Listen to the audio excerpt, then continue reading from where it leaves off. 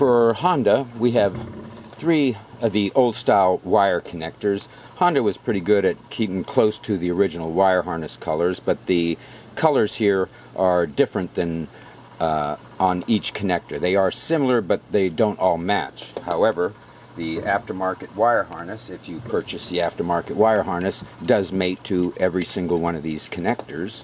And even though it, the colors on the back side of this connector doesn't match, you still end up with the universal colors on the back side to mate to your factory car stereo.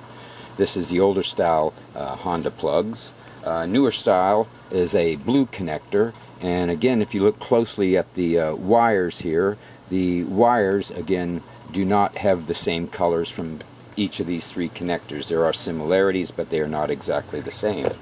However again the aftermarket wire harness mates directly to this connector giving you the universal colors to mate to your aftermarket car stereo. There is no antenna adapter needed in this vehicle. See our website for your specific vehicle's wire harness. And if this video has been helpful, please subscribe and thank you for watching.